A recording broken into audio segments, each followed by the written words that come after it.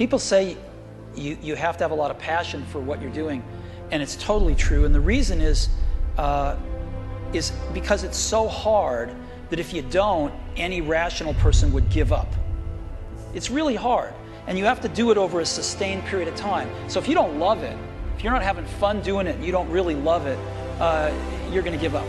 And that's what happens to most people, actually. If you really look at, at, at, at the ones that uh, ended up you know, being successful, unquote, in the eyes of society and the ones that didn't, oftentimes it, it's the ones that are successful loved what they did so they could persevere when, you know, when it got really tough.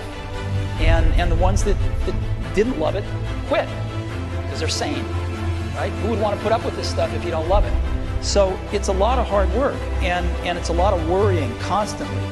And uh, um, if you don't love it, you're going to fail.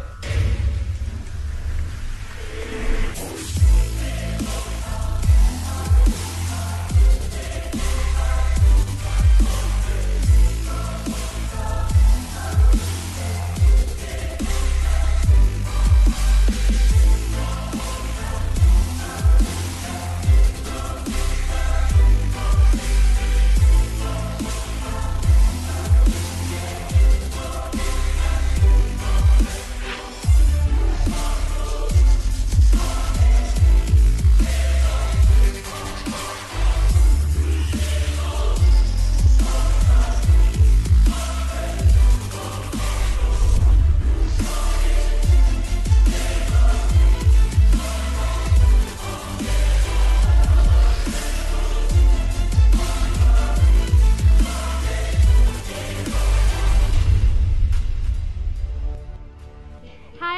I'm originally from Buffalo, New York. Came from Southern Pines today. Um, got first for the girls. It was a really great, great race, great setup, very well run. Um, the beginning was pretty tough.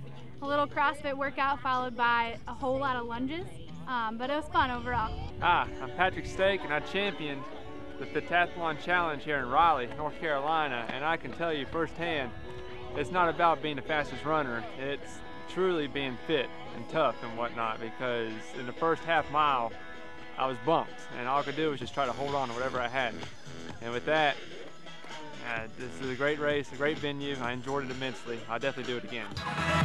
Yes, it's the first time I've done this. I did Tough Mudder. Oh yeah? Yeah, and some Spartan races, but I like this one because it's more calisthenics and more uh, obstacles than jumping in cold water, getting yeah. shocked. So I like this. Yeah. Quarter mile of lunges, I'm expecting to be in a lot of pain, crying, probably seeing visions of people I haven't seen in a long time.